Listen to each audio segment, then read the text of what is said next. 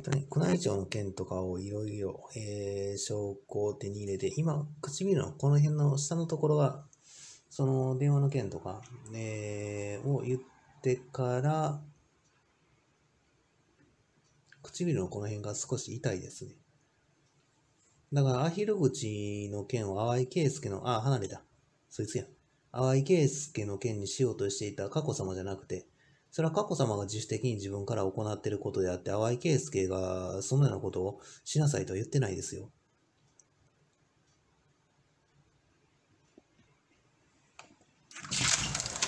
とこれはこれ一旦動画。今、先ほどの続きですけども、えー、2024年3月26日、えー、13時32分、えー、まあ、アヒル口の件と、その動画にアップロードした、あの、宮内庁に電話をかけたときに、えー、相手が、えー、老婆で名前を名乗らないで、えー、電話をすぐ切ると。で、その辺がコンピューターの仕組みであったとしても、コンピューターを利用した、まあ、結婚妨害であると。で、えー、まだここの、まだここの唇の子はヒリヒリして痛いんですけども、それがそのアヒル口なのか何なのか、あのー、もともとはここを殴られた、両顎を殴られたところの箇所でもあるので、原因が何なのかよくわからない。で、淡井圭介を殴った人間が、えー、男2名で、えー、2008年の頃なんですけども、事件番号は100894。で、えー、生活安全課の平田という形で私に、えー、担当の警察官としてついてきた。淡井圭介を殴ってきた時は、完全にあの寄っていて、で、その辺で立ち正面をしていて、オートバックスの横で、で、髪の毛を茶髪に染めていて、昔からその平田っていうものは複数の人間で、ストーカー行為法違反をしてきた淡井圭介に対して、学校にも来てました。で、社会に出てから働いていても、えー、勤務先に現れたりしていました。で、問題なのは、もう一人の男の名前がわからないことなんですよ。その男も髪の毛染めてるんですよ。髪の毛染めてるイコール不良家であって、例えば宮内庁内で髪の毛染めてる人間は何人存在いるのか。黒色に染めるのもなしですよ。それ染めてるだから。なんか女性の声でゲっていうような声が聞こえてきたんですけども、普通使わないそのような言葉。よっぽどおかしくならなかったら。変な生き方しなかったら。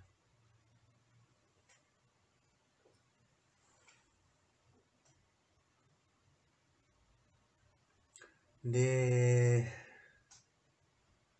裁判所は法律名とかを求めること自体が、このコンピューターの稼働をおかしくしてる可能性は十二分にあり得るんですよ。裁判所の裁判官がね、もう他の書記官とかも全員同じですよ。その、法律名と第何条まで求めちゃダメですよ。求めてる内容、相手がどういうふうな事情があって、えー、こうしてほしい、ああしてほしいっていうところ、もう相場、金額的なことだったら相場で決まってるんだから、それはもうスッと出してあげたい。そそれで、えー、まあ、気温の件と、まあ、気温の件もだいぶマシになってたと思いますよ。ここまで寒い冬に、えー、2月中旬か下旬ぐらいからこんなに寒い冬にはなってなかった。もう3月下旬ですから、3月26日ですよ。あとはまあ結婚話の方ですね。その辺のところをまあすっとこう早急に解決していればで、そのあたりが結局、河川水門海式玉発電地下水流ストレートトンネル発電に関しては、これは国家公務員の人たちに責任があると。各都道府県知事、市長、議員、地方議員と国会議員含めてですよ。と、あとは、まあ、もうこれもう本音で話しますけども、まあ、皇室の人たちとか旧皇族の人たちとかね。だから武田恒さんとかが補佐人とかになって、えーまあ、参加人でもいいです。どんな形でもいいです。あの、参加人でも何でも。あの、とにかく裁判手伝ってくれていたら、武田千也さんの、えー、父親の方が JOC、日本オリンピック委員会の、ね、会長をしていた。で、えー、海外からオリンピックを誘致してしまった。世界中でオリンピックを普及させたらダメだったの。逆のことをしてしまった。だけどもそれに対して償ったことができるような形になってくる。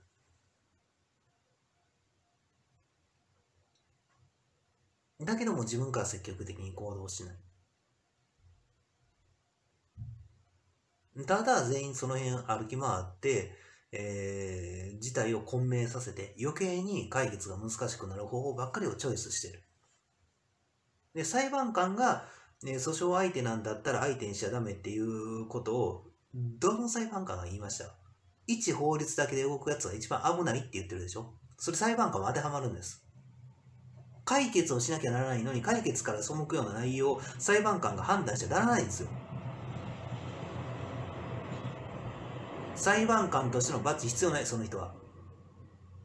事態がよく分かってないものを判断してるから。だからもうこれ以上科学の世界は発展しなくていい。もう今の時点で、ええ手直ししなきゃならないことが多すぎる。裁判所自体にもあるから。電話でこちらに聞こえてる音声が相手を脅すような口調で言われてるから。裁判所の勤務者に。で、向こうで普通の話し方をしてるのか何なのか、それ分かんないから。裁判所行ったら、もちろん当然、あのちゃんと敬語で働いてる人たちでしたよ。だから変な多分コンピューターの変換機能がある。で、うん、まあ、やっとあの、これ、ここは痛くなったり痛くならなかったり、そのヒリヒリしてね。うん、怪我はしない。まあ、自分の指で触ってみてね、あの、皮膚がどうかなってるかな、どうかなっていうところで、まあ、調べてみたんですけど、まあ、皮膚は何もなってない。だから感覚的なところで、神がかり的な力で攻撃されてる。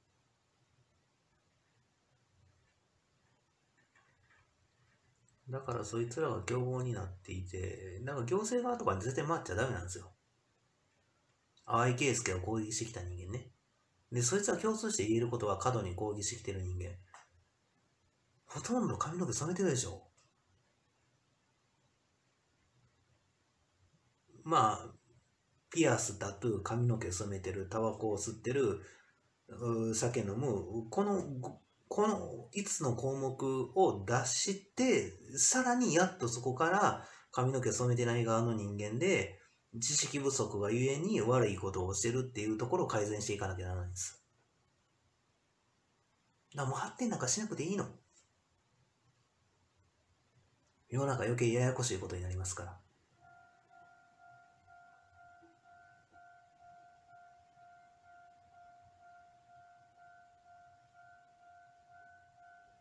何か足音が聞こえるんです階段の。先ほどもね、春山整骨院にあの旅行バッグガラガラガラガラ音鳴らしながら入り込んでいった老人男性がいたんですけども、あのー、泊まるんだったらよそで泊まったらいいじゃないですか。でしょ？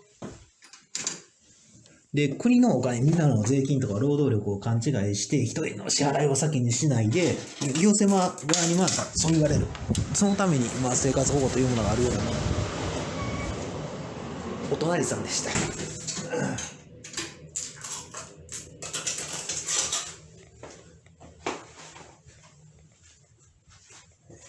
ただそこの隣の家には何もいろんな人間が出入りしてましたからね。で、まあ、とりあえず一旦この辺で動画、えー、法律名、動画のところに、えー、いろいろと付け加えて、えー、ここのね、えー、ヒリヒリしてる痛みとか、だからそれは佳子様のそのアヒル口に結びつけて結婚妨害をしようとしていたのか何なのかっていうことになってくるし、ここのヒリヒリのところね。その殴ってきた男たちの、その、俺たちが上に回ったらだとか、何かそういうこと言ってた連中だとか、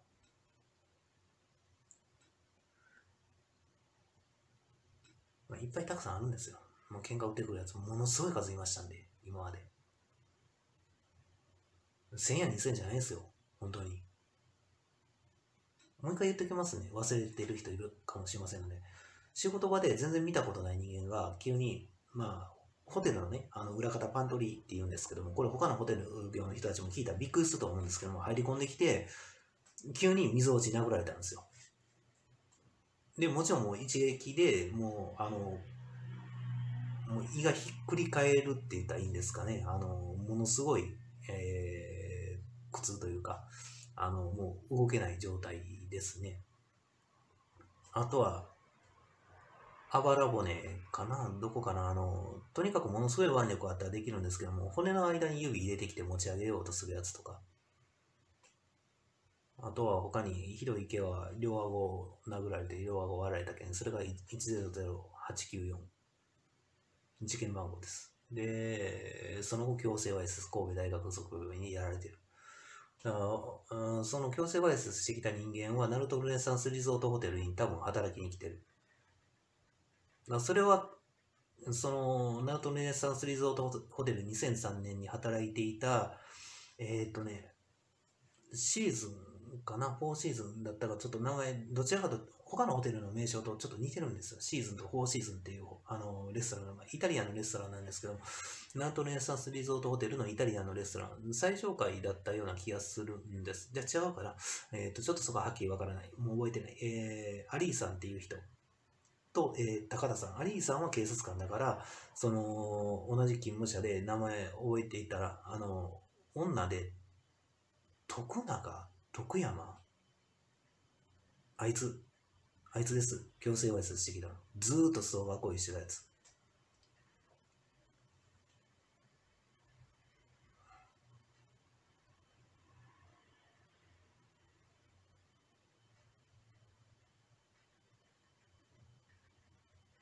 まあ、とにもかくに一旦これで、えー動画、えー一旦終了します。